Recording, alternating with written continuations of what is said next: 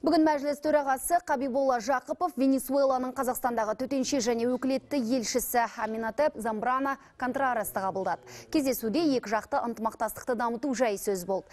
Венесуэла Қазақстанмен түрлі салада қарым қатынасты жандандыруды көздейді. Әсіресе заңнамалық қызметтегі оң тәжірибеге қызығушылық білдіріп отыр. Сондай-ақ Аминатеп Замбрана қазақстандық депутаттарды осы жылы Венесуэлада өтетін парламенттік сайлауға бақылаушы ретінде қатысуға шақырды.